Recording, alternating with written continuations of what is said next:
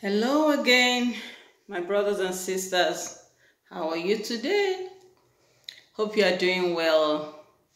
Thank God for His grace for another day. So, today we're going to continue with the teachings on my body and fashion. Praise the Lord. Let's go to the Lord in prayer. Our dear Heavenly Father, thank you so much for the grace and the privilege to be called your children. We come before you with boldness, even to give you praise, to learn at your feet. Lord, we pray, Lord, that you help us as we learn your word in Jesus' name. Lord, I submit myself unto you. I resist the devil in the name of Jesus. Lord, I pray for my brothers and sisters that you fill them with your spirit, give them wisdom and understanding. Lord, I pray as we learn at your feet, Holy Spirit, teach us and help us to be doers of your word. In Jesus' name I pray. Amen. Amen. Praise the Lord. So we're going to continue with my body and fashion. Praise the Lord. I loved fashion. As in, I loved, I used to love fashion until God rebuked me like, Joy, you love fashion. Stop. You're making a, a God idol out of fashion. And I thank God. No, it wasn't easy, but I thank God. Now, you know, I'm just good with Jesus. Whatever He asks me to do, I do it. Praise the Lord. So, what is your fashion statement. What is my fashion statement? What determines my fashion? Now, the Word of God determines my fashion. That's my fashion statement. To look pure, holy, adorable to God. Yes, to reveal His beauty and His glory. Praise the Lord. Let's look at Psalm 22, verses 16 through 18. For dogs have surrounded me, the congregation of the wicked has enclosed me. They pierced my hands and feet. I can count my bones. They look and stare at me. They divide my garments among them and for my clothing they cast lots. This is Jesus. This is a prophecy that David gave about Jesus when he was on the cross, about his death. Jesus wore garments and they removed the garments. They took his garment, the wicked people. They pierced his hand, marked his, pierced his side. Jesus went on the cross naked with with marks all over his body. Oh, he, he took a lot of um, a strip of how would I put it now? Whip upon his body. The Bible says, by his stripes we are healed. He had a lot of marks in on his body. They pierced his uh, hands and feet and they took his garment, they pierced his side. He bore a lot of pain for us on the cross, and he died for our sins. Praise the Lord. He died that we might have life. He went on the cross naked that we might be covered with his glory, with his beauty, with his holiness and righteousness. Psalm 93 5b says, Holiness adorn your house, O Lord, forever. Holiness adorn your house forever. So Christ's righteousness, holiness is now our adornment. Praise the Lord. I pray the Lord will help us to understand this. So my dressing, is it a blessing or a temptation to others?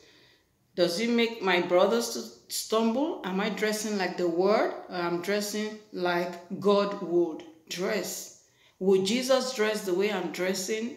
We don't have to conform. The Bible says we should not conform to the a pattern of the world. We shouldn't dress like the people of the world. No, we should not follow the multitude to sin, but let our standard be God's word. Praise the Lord. So, is it okay for me as a Christian to make up and to have tattoo on my body? Hmm. Let's look at the scripture. First, look at the scripture we read. Jesus had a lot of markings on, on his body because of the uh, beating, because of the of the pain, because of the piercing. He has marked on his body. He died because of our sins, not because of his own sin. So we should, that's a, a thought for something we should think on. Yes. Let's look at um, Leviticus 19:28. Should we have tattoo? Le Leviticus 20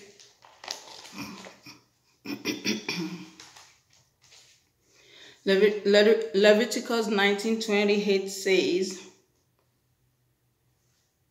You shall not make any cutting in your flesh for the dead, nor tattoo any marks on you I am the Lord. I am the Lord. You shouldn't have any tattoo on you. No mark, no piercing. So piercing your hair, piercing your nose, piercing your body, it's not biblical. It's not God's will. I pray the Lord will help us. What about makeup? Hmm. Who made up in the Bible? Did Mary make up? Mary, the mother of Jesus, or Sarah, Abraham, did she make up? Would Jesus make up if Jesus were, was a female? Deborah? Or let's see who who made up who who did the Bible talks about making up, painting our faces. Mm. Let's see from Second Kings. Second Kings 9 30. Verse 30. Now, when Jehu had come to Jezebel, when Jehu had come to Jezreel, Jezebel heard of it, and she put paints on her eyes and adorned her head. See, Jezebel heard of it, and she put paints on her eyes and adorned her head, and looked through the window. Now, who does that? Jehu was a man God asked Elisha to Elijah to anoint to to kill Jezebel to destroy her because of her witchcraft. Now, it, it, it, did, did you go to paint your faces and adorn yourself when the police is coming to your house? But why did she have to paint her face? Because painting is part of our witchcraft's weapon to seduce, you know, maybe she thought it was going to work on Jehu to seduce him, you know. But thank God because Jehu was not moved. Jehu told the eunuch, throw her down, throw her down. And that was the end. This is a model. Is this the model you will want to follow? Paul said, imitate me as I imitate Christ. Would you like to imitate Jezebel as she paints her, her face she was a witch, she was a witch, practicing divination, sorcery, and all that. Is that the kind of model you want to imitate? Food for thoughts, my brothers and sisters. I pray the Lord will help us. Amen. What about jewelries? What about jewelries? I can hear you say, and so what's the big deal about that? What about jewelry? you this conservative over spiritual come on i was just kidding now what about jewelry praise the lord. Let's look at genesis 35 verse 2 to 4 all right. Genesis. Yeah spirit genesis 35 2 to 4. And Jacob said to his household, and to all who were with him, Put away the foreign gods that are among you. Purify yourselves and change your garment. Wow, change your garment. Then let us arise and go up to Bethel, and I will make an altar there to God, who answered me in the day of my distress, and has been with me in the day which I have gone. 4. So they gave Jacob all the foreign gods which were in their hands, and the earrings which were on their heads. See? And Jacob hid them under the terebinth tree which was by Shechem. Praise the Lord. They were going to Bethel to worship God. God told Jacob, Come, let's go to come to Bethel is a place of worship, like a tem temple, a place where, you know, Jacob sought the Lord to worship the Lord. And he's telling his household, change your garment, remove all your gods, all the idols. See? How did Jacob come to know that all these idols, the type of garment they were putting on, was not honoring God, was not uh, pleasing God? God spoke to Jacob, I'm sure. And now Jacob wants his household to worship God acceptably according to the way of the Lord. Praise the Lord. Let's see also mm, Exodus 33. Exodus 33, verse 5. Let's see what the Bible has to say about jewelries. Praise the Lord. Um, verse Exodus 33, verse 5. Verse 5. For the Lord had said to Moses, Say to the children of Israel, You are a stiff necked naked people, I could come up into your midst in one moment and consume you.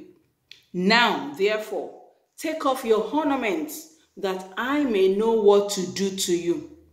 So the children of Israel stripped themselves of their ornaments by Mount Horeb. See? God told them, this, this was when after they'd left Egypt, you know that God told them to ask their neighbors in Egypt for gold and silver, and they did. They got all those. But instead of them to wait for God's command, what are we going to do with this gold? They didn't wait for God. They started using the gold to make calf, to make idols, images, and they were worshiping that image. They put all the golds all over their bodies, and they used the remaining to make God for themselves. Can you imagine?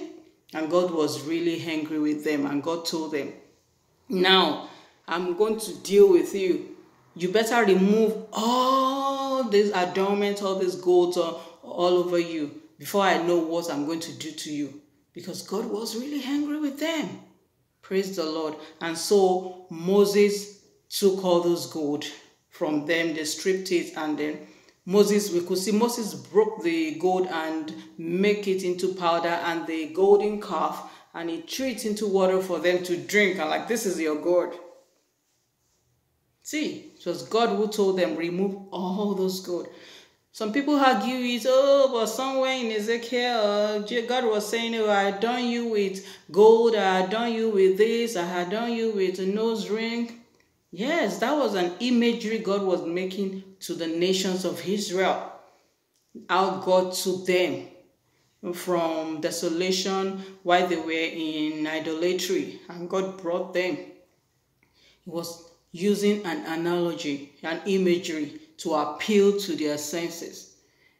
You know, but in this uh, instance, you could see that God told them told Moses, Tell them they must remove all the golds, everything, their ornaments on their bodies.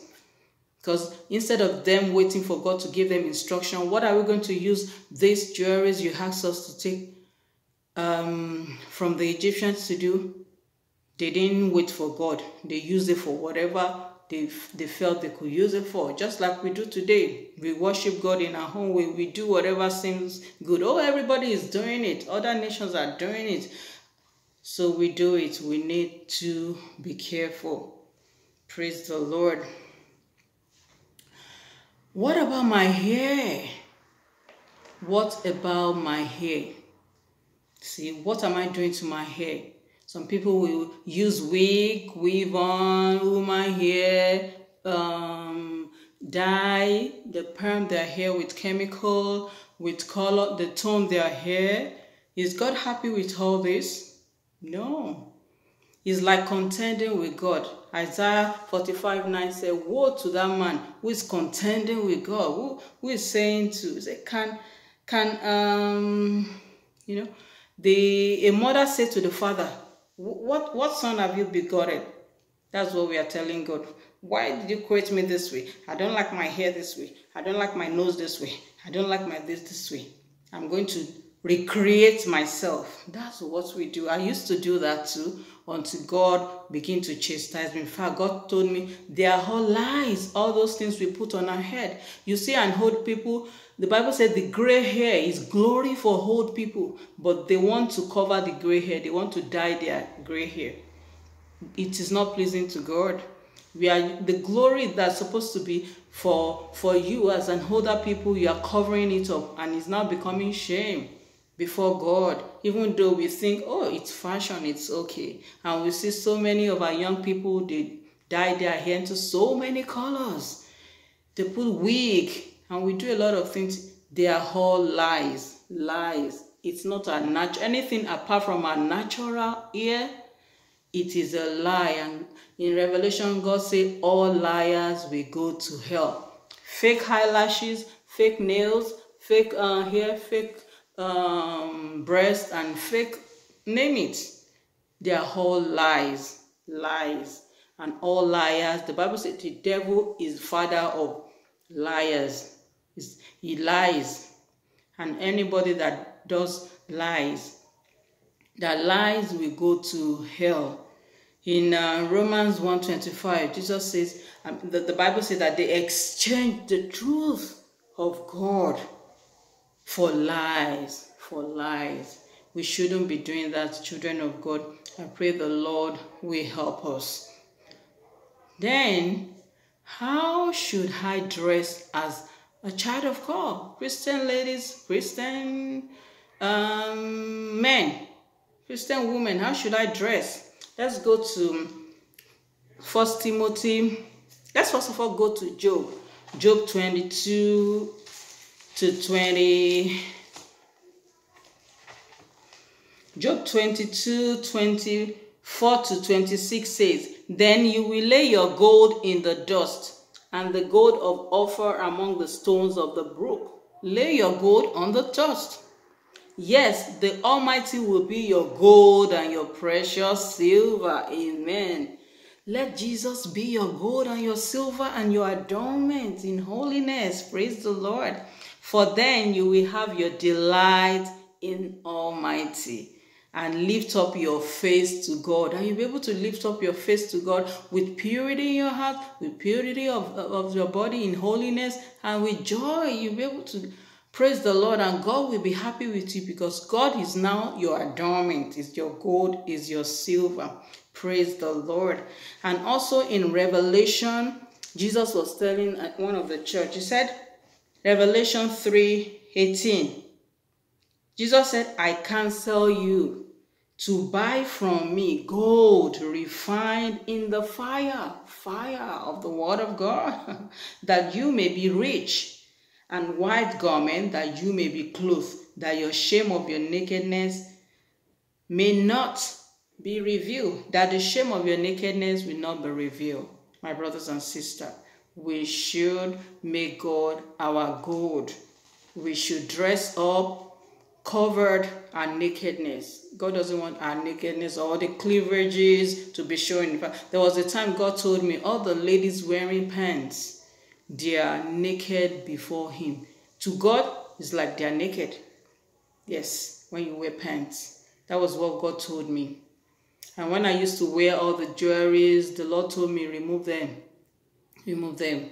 I will beautify you. The glory of the latter shall surpass the glory of the former. And I was using all that. The Lord rebuked me, and I thank God I obey Him.